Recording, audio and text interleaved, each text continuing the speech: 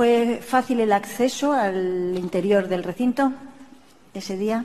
No, fue complicado por el número de gente que había. Y es más, recuerdo que tardaríamos aproximadamente una hora y media, dos horas en, en poder acceder a- al colegio. ¿Por qué?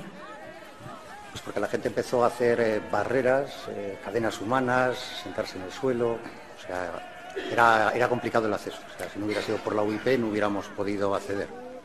En ese acceso retiraban ustedes o los de la OIP a la gente uno a uno. Sí, nosotros, yo me acuerdo que colaboramos eh, apoyándoles a ellos para poder retirar a la gente. ¿En esa retirada recibieron ustedes algún acom- acometimiento?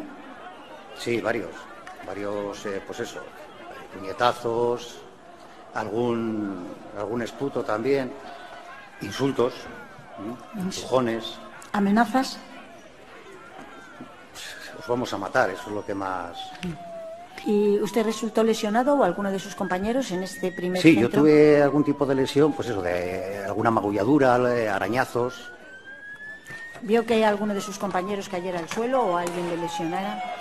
Sí, caídas hubo varias, o sea, gente de la UIP, pues eso, cayeron varios. Pues yo mismo me caí, yo mismo me caí, incluso en una de las caídas, eh, pues aprovecharon, yo llevaba un pasamontañas para preservar mi intimidad, incluso me lo, quitaron, me lo arrebataron, y en ese momento pues fue cuando una de las personas que estaba allí, pues me dijo, ahora vemos la cara del fascismo.